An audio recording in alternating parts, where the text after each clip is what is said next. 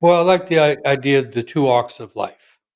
And so the first arc is the arc of growing up, and it, it begins in the womb, um, not as a child in the womb. Uh, for people living in Alabama, not in the as the, anyway, you can go anywhere. anyway, that's a whole different story.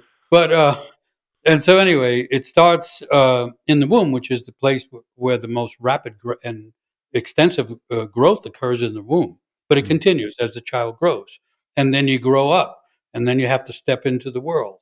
And the idea there is to be uh, learn to face the world, to learn to stand in the world, and establish oneself in the world in some way, or at least to give it a try, because to the soul succeeding and failing both have their limits and both have their blessings. And so it, it's not a matter of succeeding, it's a matter of succeeding and failing and f- continuing to find the ground of one's own being.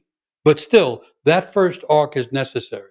One of the problems with the modern world is they think it's the only arc.